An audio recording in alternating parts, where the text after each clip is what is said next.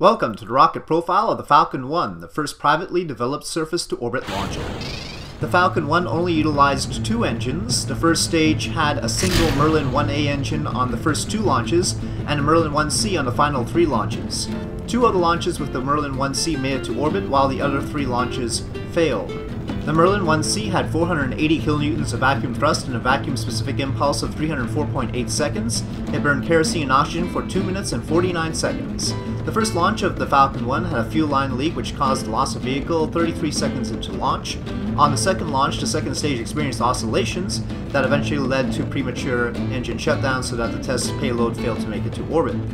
With the first Merlin 1C launch, the third launch overall, this first stage had residual thrust on the coupling and collided with the second stage. As the story goes, SpaceX had one more launch attempt left in it before it would be forced to shut down, and that fourth launch turned out to be success.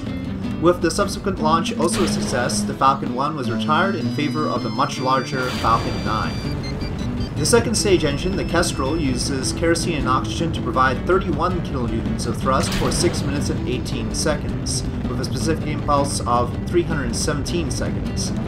The Kestrel has not been used in later SpaceX designs, while the Merlin 1C was developed into the Merlin 1D, which provides twice the thrust as the 1C with better efficiency.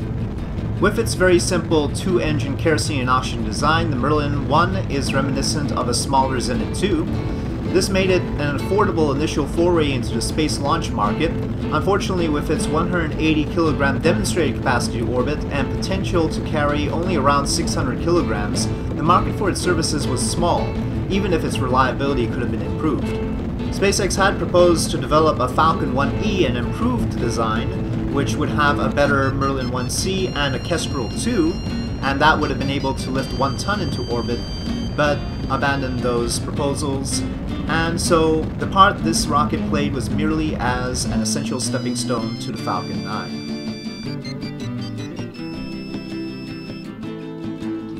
And on that note, thank you for watching this rocket profile of SpaceX's Falcon 1.